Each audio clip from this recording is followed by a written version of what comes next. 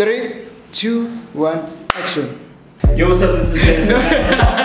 Yo, what's up? My name is Dennis Ngango, and I'm Maps Maponyane. and today we're gonna be giving you guys some advice. Okay, cool. I'm low key asking for a friend, which may be myself, but Yes, we'll- I'll, I'll go tell you. what advice would you give your younger self about finding love and building lasting relationships? That is a loaded question. I'm an absolute hopeless romantic. Wear my heart on my sleeve and I try and make meaningful relationships with every encounter I have.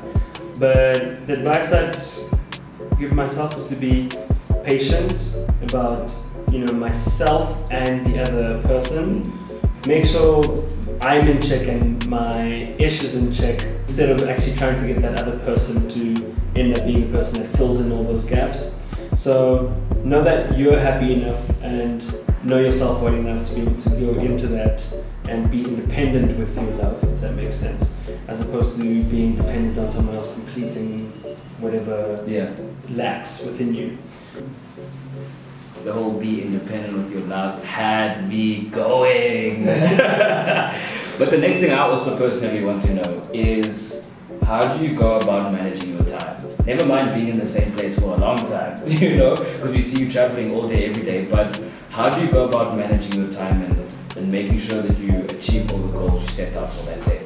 I think I just keep a pretty tight schedule, and anyone who has worked with me and works with me knows that when I'm there, we need to do what needs to be done. There's a certain amount of time that's allocated, and we just get to the point.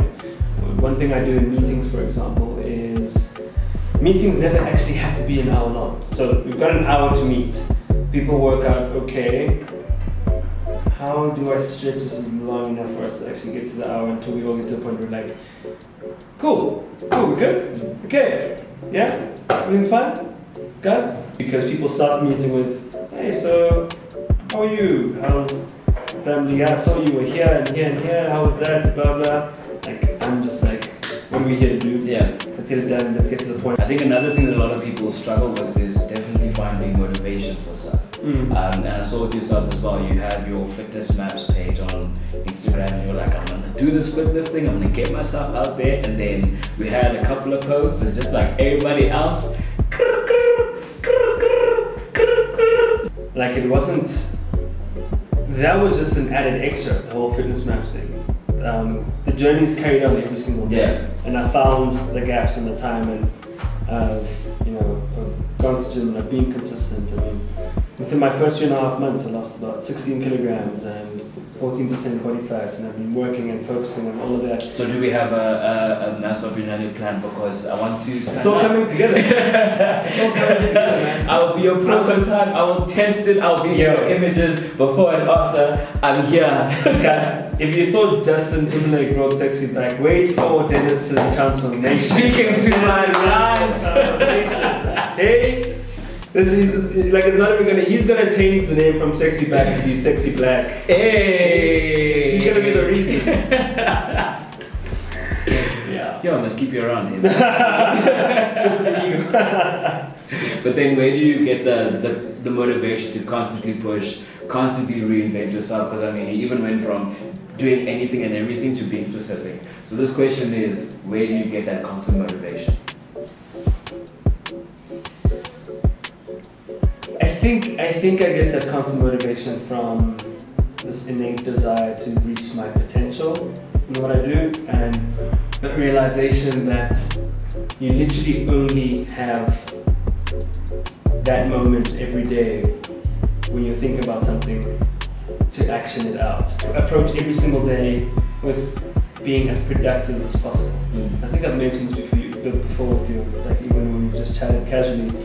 Productivity is my main attitude every single day. I think there's this thing that's gotten so casual where everyone's like, Yo man, how you doing? Like, "Ah, I'm busy dog. And then other guy's like, Yo, you think you're busy? I'm busy dog. Yeah. And they're like, No man, I went to bed at like 2 a.m. last night and woke up at, at, at like 6 this morning. I'm tired. And the person's like, I woke up at 5 this morning, bed 3 last night. It's become this competition.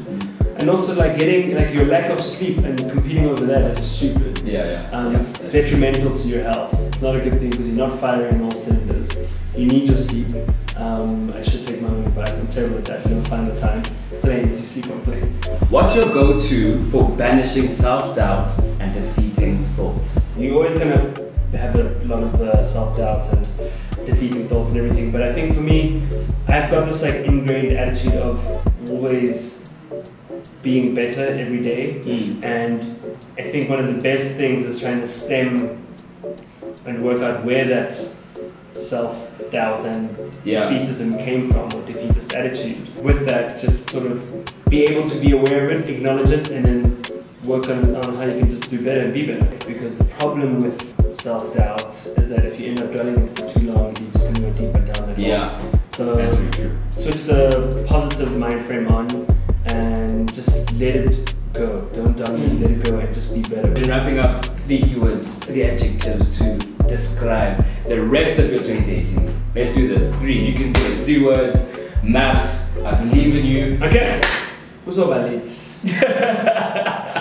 no, I'm kidding. I mean, is this a censored show? I don't know. You can. I can, I can, you can just bloody fucking shit out. They can't hear you.